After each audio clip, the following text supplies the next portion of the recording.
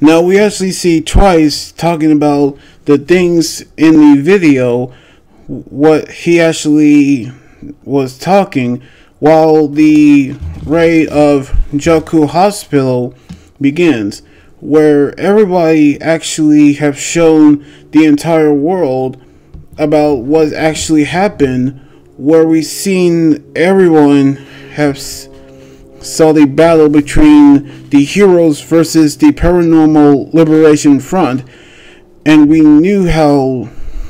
things have actually gone wrong when we saw a Nobu actually appeared, where he said that both his face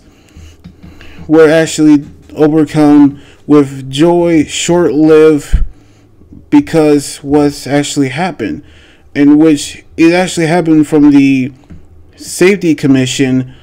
because he actually has destroyed everything because they seek order without order, true freedom through liberation, in which the seeds have been planted, in which six hours after the Tartaros attack, everybody actually heard the news of what actually happened, where the prisoners had begun to destroy every prison in sight, which we've seen all for one have actually hijacked a ship where he actually headed towards the mainland, where we've seen Shigaraki have told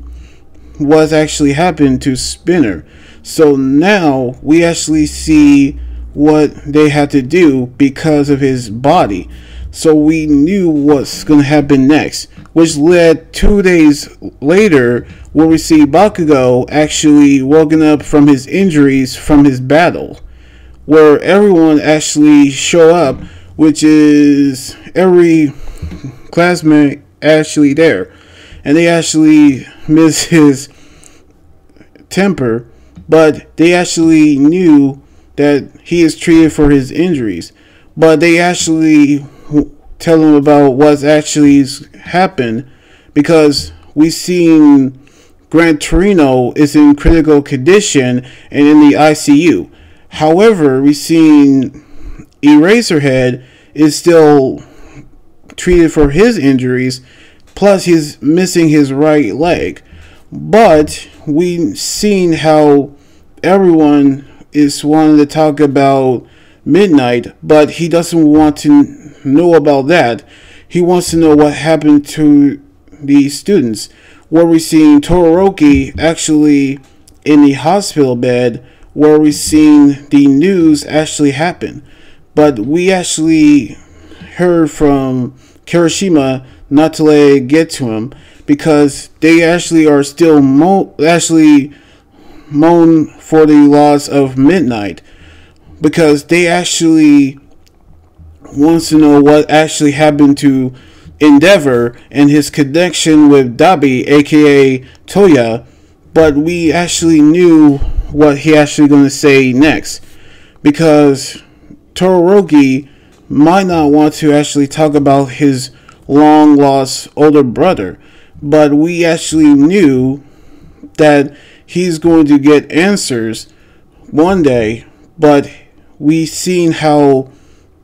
Endeavor cannot actually defeat his brother Toya, but we've seen his siblings Fumi and Natsu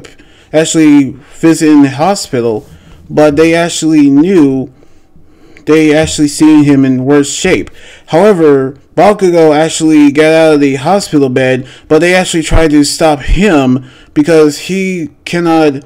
let his injuries open up again, but he actually say that he'll kill him if he actually dies on him. And he actually isn't talking about Todoroki, he's talking about Izuku, who is in the hospital bed with All Might standing there by bedside because he actually is shown no sign of waking up because he actually used all of his energy to defeat Shigaraki. So now it's a matter of patience of when Izuku is going to wake up. Now, this is where the aftermath of the battle actually happens because we've seen how Izuku have actually got injured, which this could mean he will actually end up giving up being a hero because he ignored his doctor's warnings about using his arms again because he might lose them permanently or we could see another power of one for all actually show up. So we're going to see what's going to happen on the next chapter next weekend. So anyway, like this video, subscribe for more, and comment think about the manga chapter. You guys can also follow me on Twitter, Instagram, Tumblr, and my Facebook page. Until then, this is Anime Guy here saying signing out. Laters and be safe.